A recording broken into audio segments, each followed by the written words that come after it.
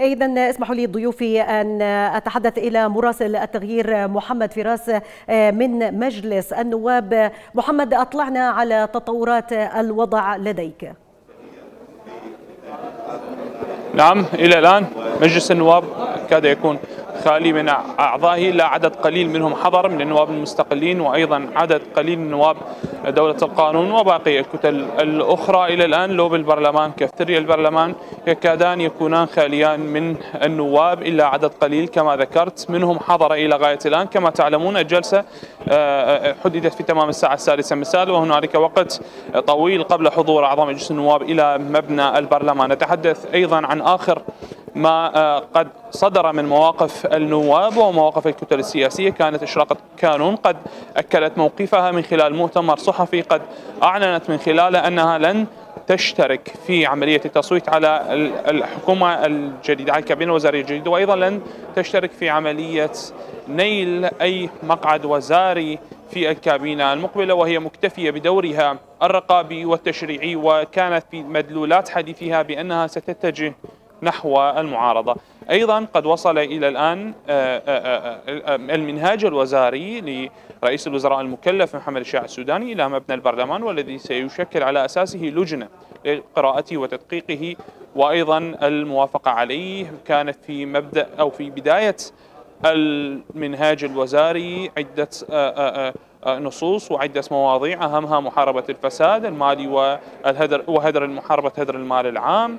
وأيضا البطالة تقليل البطالة إيجاد فرص عمل للشباب دعم الطبقة الكادحة من المجتمع العراقي وكان في نهاية المنهاج الوزاري أيضا آه، تعديل قانون الانتخابات خلال ثلاثة أشهر المضي بإجراء انتخابات مبكرة خلال عام. هذه النصوص الموجودة في المنهاج الوزاري إضافة إلى البنود الأخرى والمطولة الكثيرة التي آه، من خلالها آه، يكون هنالك حسب المنهاج الوزاري محاربة للفساد وهدر المال العام إيجاد فرص عمل للشباب تقليل البطالة والكثير من النصوص والمواد التي ذكرت في المنهاج الوزاري. إلى الآن هنالك خلافات من بعض القوى السياسية على مجموعة من الوزارات وعلى أسماء الوزراء. إلى الآن أسماء الوزراء الوزراء غير ثابتة. هنالك تغيرات هنالك اجتماعات تعقد أيضا.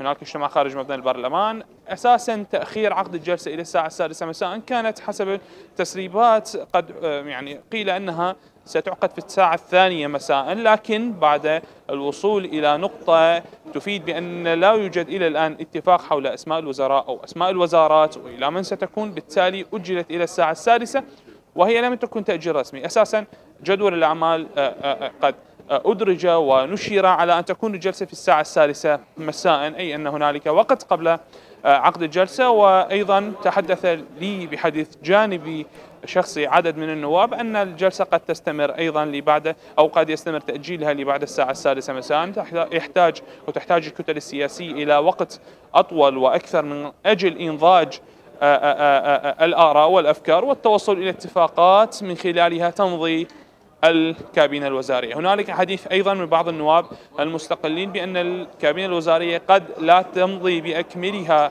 هذا اليوم. قد تكون هنالك وزارات تؤجل إلى جلسات أو إلى جلسة أخرى لكن كل هذه توقعات وكل هذه أحاديث نعم. مبنية على أساس القراءات الأولية. هنالك ساعات أربعة أو تتجاوز الأربع ساعات للتشاور والتحاور للوصول إلى نقطة قد تتفق جميع الكتل من خلالها على آلية توزيع الكابينة الوزارية على أساس النقاط التي حددت سابقا بخمسة للوزارات العادية وخمسة عشر للسيادية وارتفعت إلى تسعة, تسعة نقاط للوزارات العادية ومن خمسة عشر إلى عشرين للوزارات السيادية. هو عرف سياسي وليس قانون ثابت بالتالي هو قابل للتغير قد تكون كذا وقد تكون كذا حسب النقاط وحسب آه، آه، آه، قوة الكتلة السياسية داخل مجلس النواب والتي لتقسيم الوزارات وتشكيل كابينة وزارية. كما أكد عليها السوداني من خلال منهاجه الوزاري منهاجه الوزاري بأنها ستكون